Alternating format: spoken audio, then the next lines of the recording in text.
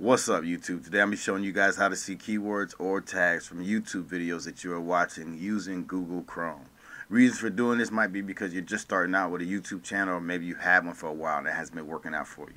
And you just want to see what the top YouTubers are using as tags or keywords in their videos that are in the same category as yours. So we're just going to click on a video here. Three easy do-it-yourself mug cakes. Might not be your category, but if it is, you can check out the keywords no. use. You're just going to right click on the screen here and go down to view page source. And then you're going to come up here, click that, and go to find.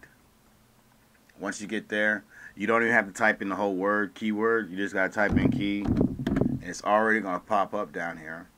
And there it is. You got your keywords for that category. And if you are in the same category, I don't suggest you just copy and paste, but at least you can get an idea of what keywords they're picking out of their description or whatever they're using for their videos that are in your same category. I thought this would help some people. So thanks for watching. Hopefully it does help you. And you guys take it easy. Peace.